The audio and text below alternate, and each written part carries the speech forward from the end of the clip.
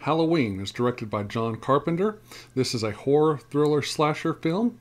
Halloween stars Donald Pleasence as Dr. Samuel Loomis, Jamie Lee Curtis as Laurie Strode, Nancy Loomis as Annie Brackett, Charles Cyphers as Sheriff Lee Brackett, P.J. Soles as Linda Vanderklok, John Michael Graham as Bob Sims, Nancy Stevens as Nurse Marion Chambers, and Nick Castle as Michael Myers the Shape.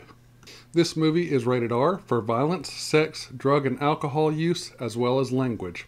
This is not a movie for young children, I would say 18 years of age and older. The film has a runtime of 1 hour and 31 minutes. Halloween was released in theaters in the United States on Friday, October 27, 1978. On Halloween night in 1963, while his parents are away, six year old Michael Audrey Myers took a really big sharp kitchen knife and murdered his older teenage sister Judith Myers. Fifteen years later, an adult 21 year old Michael Myers escapes the mental hospital prison Smiths Grove Warren County Sanitarium on the night of October 30th, where he has been since the murder of his sister. He escapes in the car his doctor, Dr. Samuel Loomis, and Nurse Marion Chambers were riding in while coming to the sanitarium. The next day is Tuesday, October 31st, 1978, Halloween. Michael travels back to his hometown of Haddonfield, Illinois, where he begins to stalk a young group of teenage girls most of the day, but one he is fixated on 17 year old Laurie Strode. He stalks her at various times throughout the day, which is starting to put her on edge. Fearing what is going to happen since his escape, Dr. Samuel Loomis travels to Haddonfield and enlists the help of the town sheriff Lee Brackett. Both of the men team up to try and find Michael before his killing spree begins. As the night approaches, kids are out trick or treating and teenagers are out having some naked fun. Laurie Strode goes to a babysitting job where she babysits a young boy named Tommy Doyle, and her friend Annie Brackett, who is the sheriff's daughter, is at the house across the street babysitting little Lindsay Wallace. Annie forces Laurie to keep Lindsay while she goes out to pick up Paul, her boyfriend. It is then that Michael Myers' killing spree begins, where he kills Annie in her car by strangling her first and then stabbing her. Linda, who is friends with Annie and Laurie, comes to Lindsay Wallace's house to have fun and make love. After Linda and Bob have a round of sexual intercourse, Bob goes downstairs to get a beer. Michael comes out of a hiding place in the dark house, scaring Paul and stabbing him through his body, pinning him to the wall. Michael goes upstairs to where Linda is wearing a white sheet and he is pretending to be a ghost. He kills Linda by strangling her with the telephone cord. After killing three teenagers, Michael sets up a trap for Laurie in Lindsay's house. Loomis is down the street at the Myers house waiting for Michael until he sees his car from the previous night that Michael stole and starts patrolling the neighborhood looking for Michael.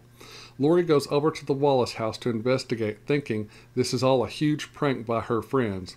When she gets there, she is surprised by what she finds, and she is then attacked by Michael, who slashes her upper left arm open and she hurts her leg and ankle. She makes it out of the house and back to Tommy's house, where she first secures the kids and Michael makes his way into the house and she is attacked downstairs. She uses a huge knitting needle and stabs Michael in the neck with it. Thinking she has killed him, she goes upstairs to check on the kids. Michael is still alive and makes his way upstairs and sees Laurie and the kids in the hallway. She secures the kids again and then is attacked by Michael again in Tommy's parents' bedroom closet. She is able to fend off Michael using a coat hanger and jabs it into his left eye, which hurts his eye. As he grabs his eye, he drops the knife inside the closet and Laurie reaches for it and picks it up and stabs him in the stomach with it. He falls back on his back to the ground outside the closet door. Laurie gets Tommy and Lindsay out of the house to safety. Dr. Loomis is still patrolling the street and sees Tommy and Lindsay coming out of the house screaming, running in fear. Dr. Loomis starts making his way towards the house that they came out of. Michael gets up again and attacks Laurie again a fourth time by trying to strangle her with his hands around her neck. But this time, Loomis finds them in a struggle and shoots Michael six times in the heart, knocking him off the second story balcony of the house. After Loomis checks on Laurie to make sure she is okay, he then goes and looks off the balcony to find Michael's body is nowhere to be found. Okay, that is the story synopsis for John Carpenter's Halloween. Here are my negatives for the film. There are a few shots in this film where we see palm trees, which is not really noticeable unless you're really looking for them. Though, since this film is set in the Midwest in Illinois, We are not supposed to see palm trees. The only reason we see them is because this film was shot on location in Pasadena, California. I didn't notice these palm trees and just probably until five or six years ago uh, when they were pointed out to me by a friend. And I was like, oh, I never noticed those. But upon watching it now, I see them, but it doesn't really bother me. I'm just kind of like, okay, you know, whatever. There's palm. There's a few palm trees in Illinois. So what? it doesn't take me out of the film at all. There's a scene in the film where the boy Tommy Doyle is trying to scare Lindsay as he hides behind a window curtain in his house. And when he turns around, he looks out the window and sees the shape Michael Myers carrying Annie's dead body inside Lindsay's house. And it scares him, and he starts yelling that he saw the boogeyman, and it scares Lindsay and annoys Laurie. Now, I can't blame Laurie for being annoyed at him, even though he is telling the truth. But when he is yelling, his voice is really irritating and annoying when he's doing that. I mean, it's almost like nails on a chalkboard. You're just like, dude, kid, shut up. So, yeah, that always kind of bothered me just because his voice is just like annoying at that point in time in the movie. During the scene where Annie and Laurie pull up to the hardware store that has been robbed, we see police officers there and hear the store's alarm going off. So, my question is this if Michael got all his stuff, such as the Halloween mask, the rope, the knives, early that morning, why is the store's security alarm just now going off? Or has it been going off all day and they're just now responding to it? Also, why did Annie feel like she had to stop and talk to her dad at the hardware store when she and Laurie were on their way to the babysitting jobs? And also, they were smoking weed in the car, I wouldn't have stopped. Why didn't she just drive on by and just not stop? And it looks to me like that Sheriff Brackett wouldn't have been able to talk to them anyway because he's busy dealing with an active crime scene. At the beginning of the movie, in the official use only station wagon that Dr. Loomis and Nurse Marion Chambers are in, we see a red colored matchbook that says Rabbit in Red. We then see it later when Loomis stumbles onto the tow truck driver that Michael killed and stole his jumpsuit. But nothing ever comes of the Rabbit in Red matchbook, but the movie focuses on it twice like it's going to be something of major importance, but nothing ever comes of it. And that always had me wondering well, if nothing's ever going to come of it, why did the film focus on it twice?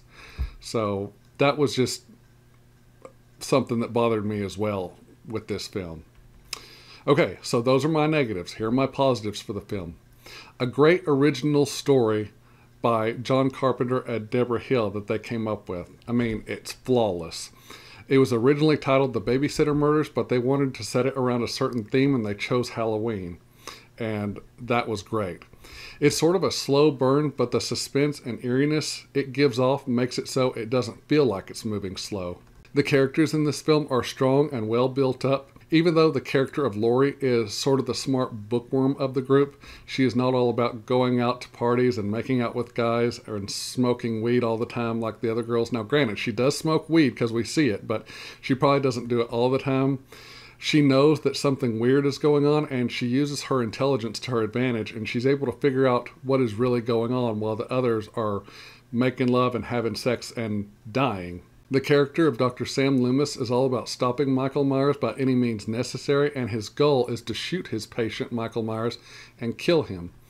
The way Donald Pleasence brought him to life and made him, in a sense, a man on a mission was great. It was this movie's version of Captain Ahab going after the white whale, and the execution of that was awesome. Tommy Doyle is just a kid, and like Loomis, he already knows something bad or someone bad the boogeyman is out there waiting to strike, but no one believes him because he's just a kid. The characters of Annie and Linda are just all about having fun and getting laid. This film really gives off that Halloween feel. The look of the film is great, even though it was shot in Pasadena, California. They make it look and feel like a small Midwestern town. They used painted leaves around the exterior sets to help give it that fall look. The look of the film is great. It's not overly saturated with color, but it is not completely muted without color. It is the right mix of both, which give the film that sort of fall autumn look. Plus, the trees blowing in the nighttime wind was a nice touch of fall and autumn as well.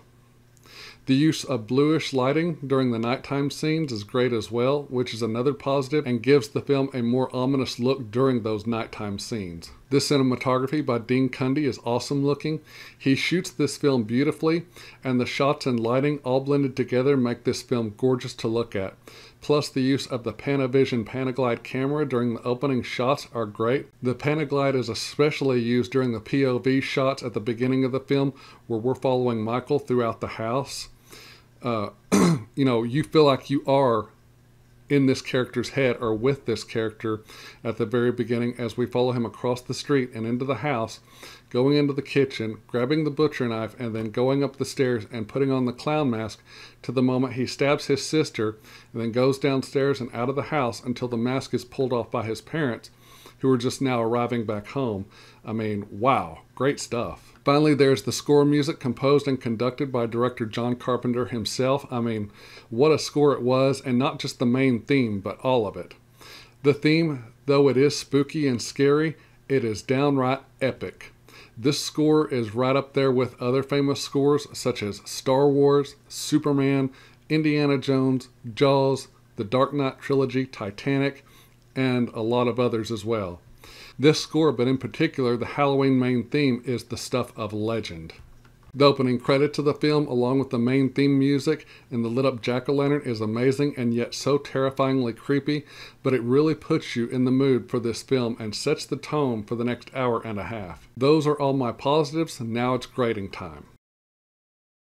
I'm going to give the 1978 iconic horror classic film John Carpenter's Halloween a well deserved a plus. Halloween is the night he came home. Is Halloween a perfect movie? No. Does it have its issues and screw ups? Yes. But it is so well put together with everything from the story to the casting to the characters to the music to the cinematography that you just can't help but fall in love with this movie. This is my second favorite horror film, with the first being The Exorcist. This film is beautiful to look at. I own this movie on DVD, but I hope to get it soon on Blu ray or 4K Blu ray. I love this movie so much and I have so much respect for it that I can watch it any time of day, at any time during the year, not just on Halloween. Okay, so I'm going to say thank you so much for watching. I'm going to say good night. God bless. I love all of you, and I will see you all in the next video, and happy Halloween. I met him 15 years ago. I, I was told there was nothing left. No reason, no uh, conscience, no understanding, and even the most rudimentary sense of life or death, of good or evil, right or wrong. I met this six-year-old child with this blank, pale, emotionless face and the blackest eyes, the devil's eyes. I spent eight years trying to reach him and then another seven trying to keep him locked up because I realized that what was living behind that boy's eyes was purely and simply evil.